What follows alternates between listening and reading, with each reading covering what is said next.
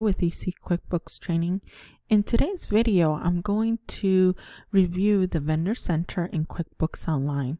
We're going to go over um, the features under the vendors and we're going to see what we can do and what we cannot do. So let's get started. To access the Vendor Center, you can click on Expenses on the left-hand navigation bar and we're going to go under Vendors. And at the top here, there are two um, tabs, just like there were here. But I wanted to go over the vendors first. Um, as you can see, and we can actually collapse that, um, there are a couple things that we can do here. Let's clear the filters. Now looking at this, we can see any open purchase orders. We can see overdue items or bills. We can see all bills and what has been paid in the last 30 days.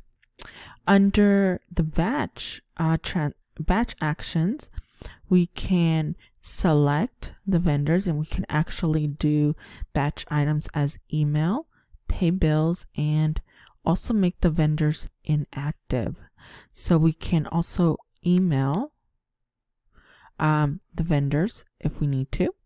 So it just will bring up your email um, provider. And that will email the vendors that you have selected.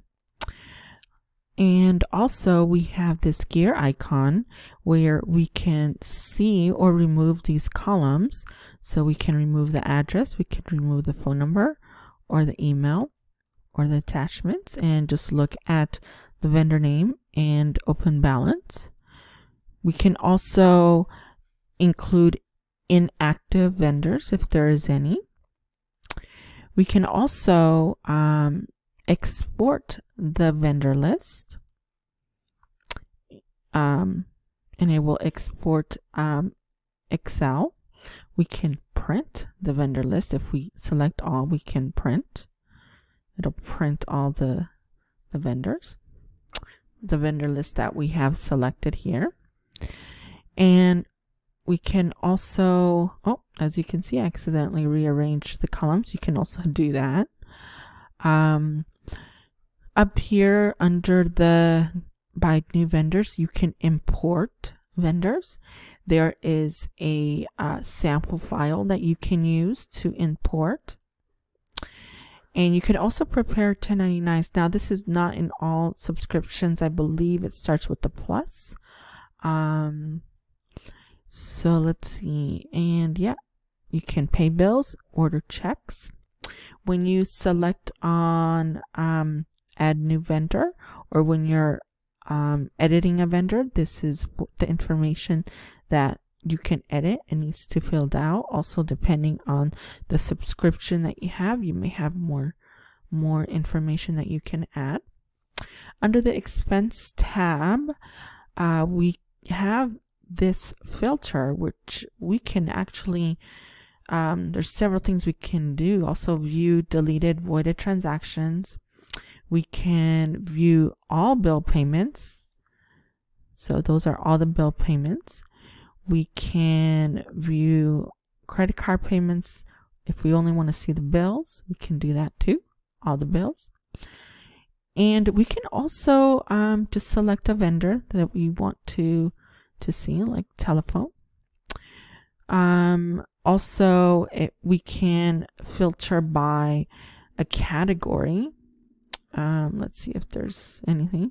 Yeah, we can filter by category. If maybe we remember where we, you know, enter the category, but we don't remember the vendor, we can select that the category section.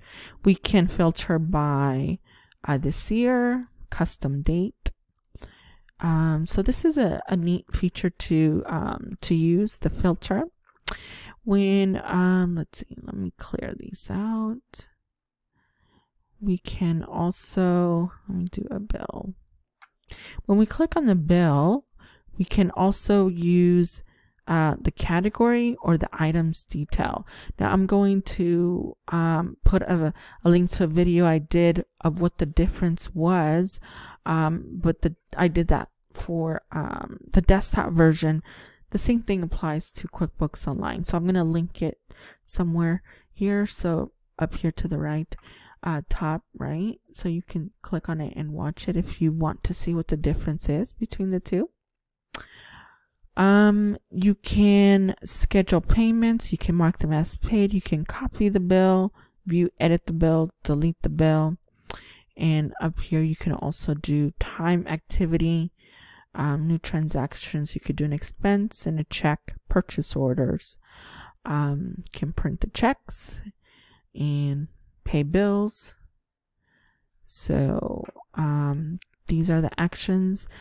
Um, columns, you can also remove columns or add columns. Okay. And you can also have compact. And you can also export, you can print the list that you're viewing. You can print. Batch actions, you can print or categorize selected. Okay and um and I think that's pretty much it. That's what I wanted to show you. It's pretty easy to add a bill or expense or a check um, when needed. So this is the review of the vendor center.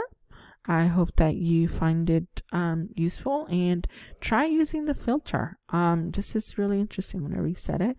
Um, yeah, try uh, using the filter, the deleted ones. If there was deleted transactions, it would show you there. Oh, um, it takes you, it looks like it takes you to the audit log. Okay. So, um, please don't forget to subscribe for more how-tos, tips and tricks, and troubleshooting for QuickBooks. I will see you in the next one.